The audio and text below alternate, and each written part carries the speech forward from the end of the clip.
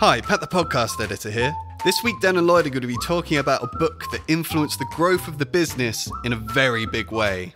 They're going to be reading some excerpts from Agencynomics by Spencer Gallagher and Peter Hall. I know what a book's good when I or we send each other photos and put it in our WhatsApp group of things that we've read, like this is really powerful, and these are those things. Now, those are strong words. But to see just how much this book has changed things, we need to go back to the Dark Ages, long before Agencynomics. I remember I was on holiday in Spain and I got a phone call from you saying, um, Dan, you know, like our spreadsheets and stuff, we've thought we've got like 20 grand in the business. Um, and I was like, yeah. And you went, well, no one's paying us and we've got minus 30 grand. Yeah. Today we're going to hear all about EBITDA, whatever that is, as well as the power of under-promising and over-delivering. We'll even learn a thing or two about the human body. Yeah, I'm just uh, for listeners and not viewers. I'm flapping around trying to find the next page. um, I thought the viewers would know that, but the listeners wouldn't have. uh, Probably right, because their ears can't see. Right, let's dive in. Reading glasses at the ready. This is episode 47 of the Business Anchors podcast. We're just a couple of business anchors. Welcome to the Business Anchors podcast. This jingle is slightly too long. This jingle is slightly too long. I think this book has provided the most value and growth for our agency out of any book or almost anything ever. That is a big statement. What, even more than me as a person? Yeah. Oh, Well, no, not quite more than you, but Whatever. it genuinely has. Mm. And I think that's why we want to do a podcast episode on it because we're going to read through some of the bits that we've got the most value thro- from and um, I can also tell that you're a marketer because you've called it this book, so that at the moment people are clinging on. Oh, that- that was completely by what, accident." What's the book going to be? Oh, well, I mean, it's in the title of the podcast, so Oh, right. Okay. that we haven't Yeah. written yet, but it will be. Yeah, I I do agree. I think it's been massively important for our business. And I spoke to Spencer. So Agencynomics is written by Spencer Gallagher and Peter Hool. Hool? Did that sound strange? Hool? No. No. Um, and spoke to Spencer, and he said he's more than happy for us to read some excerpts. So, if you haven't read the book, um, you'll be hearing some short bits. Um, and obviously, if you like it, go and help those guys out and Yeah. buy the book because they've massively helped our business. I also think it's important to say this isn't just a book for people who have an agency. It's it's it is called Agencynomics and it's focused around uh, uh, growing an agency, but all of the most of the tips can be applicable to any business or if you're in marketing. Yeah, I was going to say that. I reckon about 75% of the book is just if you have a business, it will be good advice for you. Yeah. And then there's some more niche stuff that's like if you're an agency. Yeah. But yeah. So, So shall we begin? Gather gather round, children. um, so I'm going to uh, also just one more. The sections we've got are the bits. I know what a book's good when I or we send each other photos and put it in our WhatsApp group of things that we've read, like this is really powerful, and these are those things. Yeah.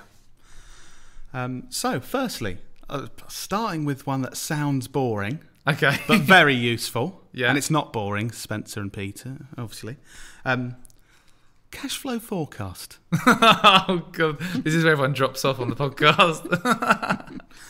Um, it is, does it get better than this? yeah, this, this has made us loads of money, guys. So even if you think it's boring, Yeah. if you want more money, you know. Incredibly important, yet used by few businesses. A cash flow forecast looks at the amount of money your company is in possession of at any one time and how that maps out in the short to medium term. The profit and loss forecast won't do this, as there is a distinct difference between profit and loss and cash surpluses and deficits. Um, See, I reckon a lot of business owners are listening, thinking, "Oh yeah, of course we do that," but we never did, did we? Yeah, we Tell the story. Cash actually. forecast. So, so I'll tell you where we are now, thanks to Agencynomics and and some of our input. We we do have our own brains as well, but this is what actually made us start doing it. Now, for the next six months, we have a estimated number that is going to be in the business bank account from all the money coming in for great work we're doing, all the money going out for our staff and rent, and all the costs of buying weird stuff that we do, buy for video shoots. Um, and so, obviously, to make business decisions, that's great. We can go, can we hire another person this month? Well, yeah, we've got the cash in the bank and we're not going to fail as a business. Why are you smart, smirking at Because? I'm remembering of the backstory of why this. I remember I was on holiday in Hmm. Spain, and I got a phone call from you saying, um, "Dan, you know, like our spreadsheets and stuff. We've thought we've got like twenty grand in the business." Hmm. Um, and I was like, "Yeah," and you went, "Well, no one's paying us, and we've got minus thirty grand." Yeah. Yeah. And I was like, Yeah, we looking at all the profit and loss accounts like, oh, business is making a profit. Hmm. This is good. Things are going well. And like Dan said, um, This we weren't years ago. forecasting like when the money was coming in. So it was at some point from clients, and we were spending loads on like projects that had just started. And yeah, it was that thing of why is everywhere we look, it's saying we're making these profits, but we're getting more and more in debt. Why is that happening? "Yeah." Um, so yeah, and now it doesn't happen because of that, and we Yeah. can. And I know it's so it's the stressful thing as a business owner of going, oh, I'm in a massive overdraft, or I've you know Mm. I'm in debt and stuff. But I, it wasn't as much that for us because we had confidence in the business that Mm. that cash would increase. But it's actually been able to make decisions that affect Based the long on term. yeah. Yeah, I'm just uh, for listeners and not viewers. I'm flapping around trying to find the next page. um, I thought the viewers would know that, but the listeners wouldn't have. have Probably right because their ears can't see. Yeah, yeah, that's, that was my logic. so uh, now I'm going to show how uh, my lack of knowledge before reading this book, and Yeah. say I had never heard of an EBITDA before reading this. Oh, I don't think many people would have. Oh, really? I just I don't think so. No. okay. So let's just say it again. EBITDA. So, ha- lis- listeners, have you heard of that? I bet most of you haven't. Yeah, no. um, so I'll read the section and then we can discuss it. Yeah. So, uh, lastly, to conclude on agency finances, it is essential to understand how your company is valued. This gives you a scorecard to monitor how well your asset is growing in value and bring some sanity to the chaos of everyday agency life. The value of your company is usually based on a multiple of EBITDA, i.e., your earnings before interest. Before I was waiting for the first time until I mucked up something. Um, audible, if you're listening, you know where I am. Uh, your earnings before interest, tax, depreciation, and amortization. I'm going to stop it there and then talk about stuff. So, Yeah. there's lots of good stuff on EBITDA, but um, lots of people are building their business to potentially sell, or they or they just want something when they're building their business to be like, what's my business worth? Am Yeah. I is it increasing in value? So am I doing good right stuff? And um, especially if people are trying to build a scalable business to sell at some point, rather than a lifestyle business of, you know, you you enjoy the work you do and you, You want are the to- business. You are the business, and you want to continue it forever. Hmm. And when you step away, the business will die. Oh, that sounds very, you know, that's absolutely fine.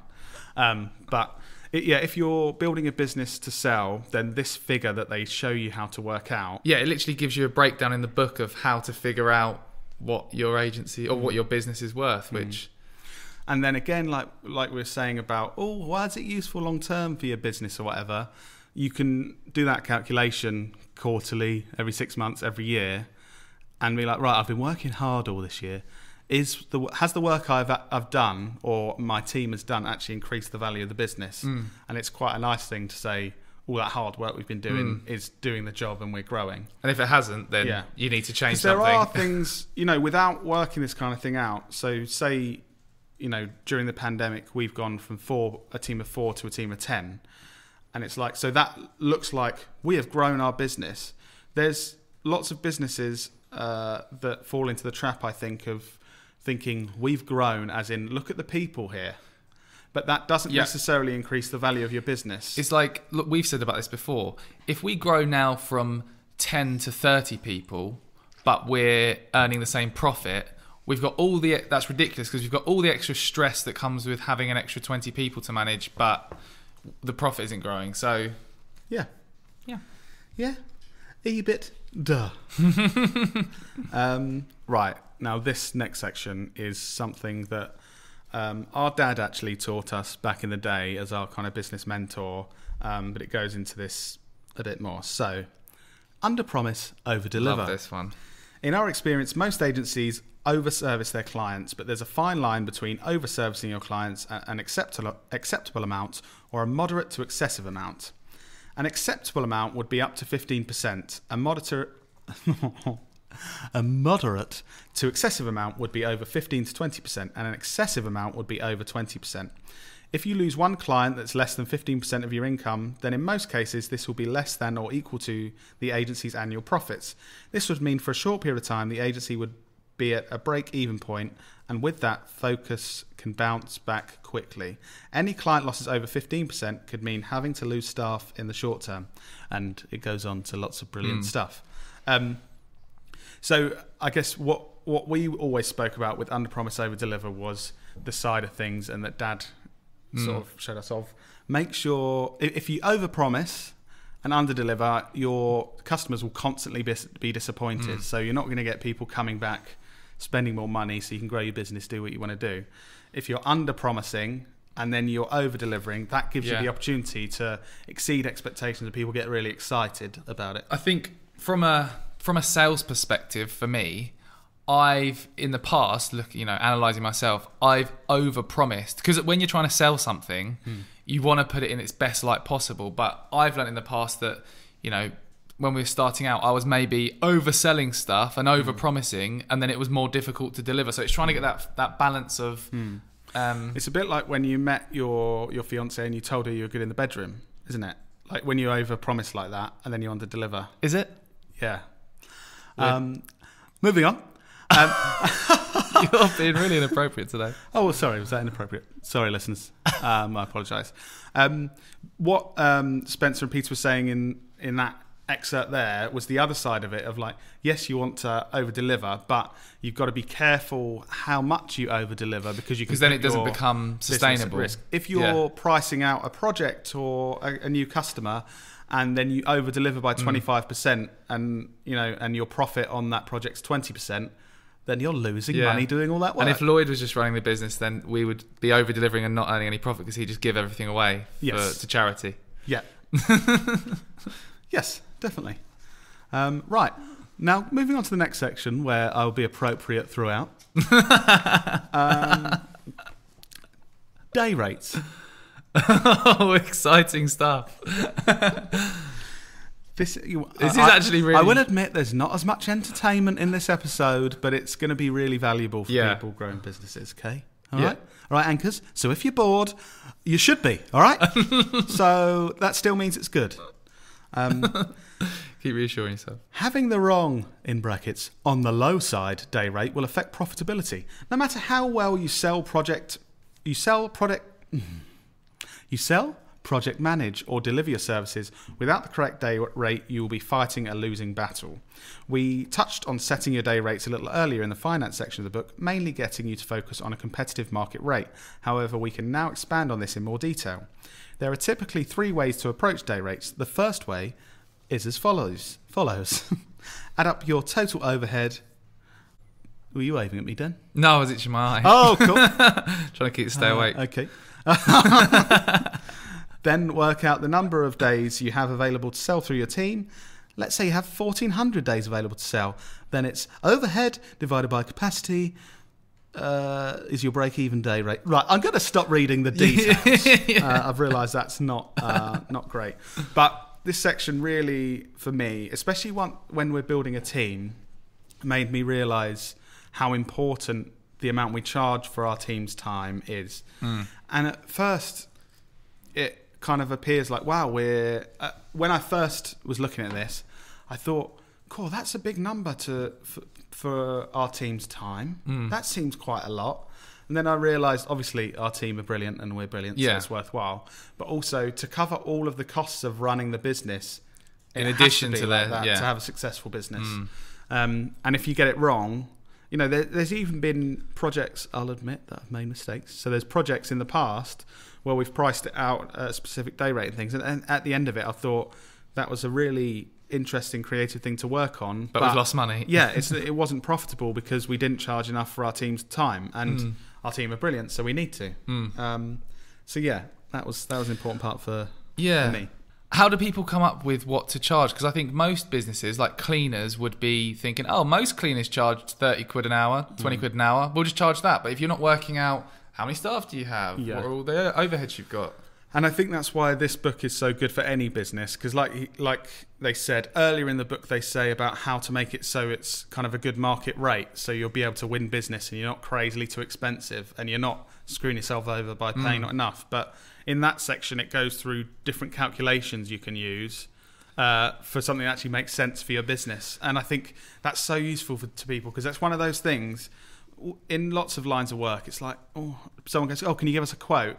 And in reality, you business owners out there are thinking, well, I don't know. What should, I, what should I charge for this? And I think to have like Yeah. a, an exact calculation is I think that's really something else I really like about this book throughout. There's tons of calculations for stuff. Hmm. It's not one of those books like I've I've read a few books recently that are really good and motivating and think, oh, that's interesting. This is like here's the exact equation to work out this element of your business, and we've actually taken that and then used the equations and the templates to do. I agree, and I think that's what sets this book apart. Is Spencer and Peter have been very generous with the value that they've, the kind of stuff they've learnt over the years. Ve- It's very rare that you have books that go into this like a how-to guide of. We're literally going to tell you step by step exactly how to do things. And it's still interesting to read Yeah. because I find some how-to books are just informative Hmm. and boring, but that they tell stories as well in this, which Yeah. makes it more interesting. yeah, we're reading some of the more like value-adding Yeah. excerpts, which probably undersells the book, guys. Yeah, but like like Dan said, there's stories about when Spencer and Peter have been Mm. growing agencies and helping agencies around the world, um, which makes it quite entertaining as well as this like really value-adding stuff. What we got next, Lloyd? What? So now something that's very appropriate for us as business partners. So if you've got a co-founder or if you're working alongside someone, this I think will be useful. Um, where possible, make sure one of you is managing and focusing on the external part of the business, and one of you is managing and focusing on the internal part of the business. That way, you have at least one of you externally focused on sales and marketing, and at least one of you internally focused on the operational and delivery part of the agency. I remember taking a photo of this and instantly sending it to you Mm. and thinking, re- after we properly defined our roles, and saying, this makes me so Yeah. confident that what we're doing is right. And again, so simple when you just read that short paragraph. It's like, yeah, yeah, of course, that makes complete sense. But until you read and, and read more into how to do that, it's Because we mentioned before, when we started out, we were just doing bits of everything, weren't we? Yep, And then some things didn't get done because I thought you were doing it, vice versa. Mm-hmm. But now, well, now we've had it done for a while, but we've got properly defined roles um, within the business, so we know who's doing what, who's responsible for what. and we've spoken about it before in the podcast. But actually, um, trying to make sure within the business you have people whose skills suit these things. So, luckily, me and Dan found it out over time Mm. that Dan was much better at the sales and marketing and the outward fo- Yeah. focusing stuff, and I was much better on the Yeah. inward focusing, like how can our business work. And this book covers both sides actually, Yeah. which is great. We want to get, we try to avoid getting you in front of people because your face kind of scares them. Yes, my face, my things I say, everything really. Yeah. Um, Yeah. So this is actually the the final bit of uh, value from this book that we're going to read today. Yep. But uh, just let you know, there could, we could have had thousands of different things from this book, but um, this one I think is really important. So. Take the time to talk to individuals and understand what they would like from both their job and their life outside of work, and review this as often as possible. If you align your organization with the goals of the individuals, then your people will become invested in your organization. For a small agency, this may, may take the form of an informal one to one meeting, and for larger businesses, this may be via more formal appraisals. Either way, it's important to get this done. So, uh, I really the way like that. I describe this is actually give a shit about people. Yeah. Um, so in our interviews and in our appraisals, we ask the team what they, if they have any goals uh, in their career later on, even outside of their business or inside of our business, um, and what they are trying to achieve, and we we kind of try and set out that we want to support them doing that, um, and then take actions to do that if they have uh, a dream or a goal that they want to achieve. Um, some people are much more happy, kind of like I'm doing what I'm doing at the moment. Everything's I'm fine. good and it's fine. So we don't have those plans in place, but some people are kind of like, I want to get here, I want to do Hmm. this. It might be, I want to be directing feature films uh, in 15 years' time, Hmm. and I've got a long way to go. And then it's like, okay, well, what, What can, can we you do to- learn within this business, and what can we help you do? Yeah. What will be valuable to our business and for you? And I just think it's it makes sense. It makes so much sense. Yeah, yeah. To actually make an environment where we're supporting people Mm. and And it's not, it's not, again, it's not just me, you take the piss out of me in our business of just being like, oh, help everyone, help the world, and the business is going to fail because we give away everything. yeah, Um, it's more like that's going to be valuable, valuable for our business. We're going to be able to attract and keep the best people we could have in this business Mm. if we're supporting them and we're not like, you know, if someone's going to say, oh, in five years' time, I'd like to be doing this other thing. If we're a business that goes, well, Get out. you're going to leave, so I'm just going to be a dick to you all the time and make sure you have a terrible time. yeah, Um, that's just not good for anyone. no, Um, whereas the business could get five years of brilliant value, the employee could Yeah. get five years of brilliant value, and I think that's what people forget as well, because you, you're still getting value, hopefully both ways, when someone's here, even if they've got plans to, you know, travel the world Yeah. in five years or something. You're still both contributing Let's to the value honest, of. when you look at people's careers these days. It's much rarer that someone starts in a job when they're 21 and they're there until they're 65. Yeah, Um, so it would be unreasonable to think that everyone is going to stick within the Mm. business for decades. but if they're enjoying themselves while they're here and providing value, I think we've done our job. Yeah. So I think that's really, really important. And that's more of the like, that's one of the more fluffy bits that isn't like, here's this calculation. Yeah. Do exactly that. But I think it's Just so give a shit about people. Yeah. And I would say, guys, if you're going to read this book, um, do what Dan and I did. So we, or Dan mainly, did this, just taking pictures of bits that are really important and save them Yeah. somewhere. Because when you read a book, when there's so much value in a Mm. book, you can read a load of stuff and you forget half of it. But that's Some people really like good. Highlighting and stuff. I'm I'm not into that, but I do like the. Not into highlighting. Well, no, because I don't know. It's just annoying when you try. I read in bed mainly, and it's just annoying. Don't have a highlighter next to your bed. No. Ah, okay. Just just highlighting in his hair. He likes.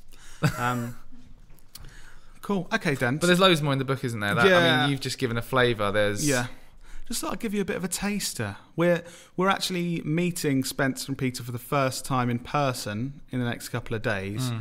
and uh, we've so we've been thinking about the book a lot more and stuff, and thought that would be something really useful for a lot of uh, listeners potentially. yeah. Um, so it's on Audible as well. I listened to the book the first time.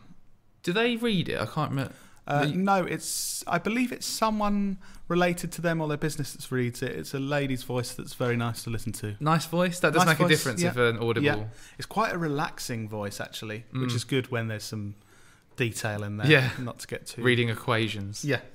Um, but yeah, that's great. Cool. So, business anchors, we hope that's provided you some value, and um, we will be talking. What are we talking about next week? Dan, we're talking about How to spot agency catfish. marketing agency catfishes, so you can avoid being scammed and Is it ripped catfish off or and- fishes? Cat, uh, oh, catfish. Yeah, did I say fishes? Yeah. Yes, the plural of fish is fish, I believe. Yeah. Uh, so that's another bit of value for you. Bonus at the end there, listeners. Um, if you want us to talk about any more plurals, uh, no, all plurals? Is plurals the plural of plurals? Plural? oh, shut up. Okay, see you next week, guys. Bye.